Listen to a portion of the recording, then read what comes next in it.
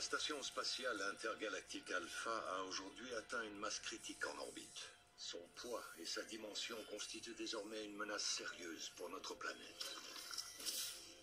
Dans sa grande sagesse, le comité central a décidé d'utiliser toutes les ressources nécessaires pour libérer la station spatiale de la force d'attraction de la Terre. Sa nouvelle trajectoire la dirigera vers le courant Magellan.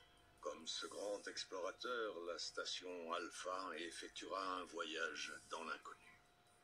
Comme symbole de nos valeurs et de nos connaissances, elle portera un message de paix et d'unité jusqu'aux confins de l'univers.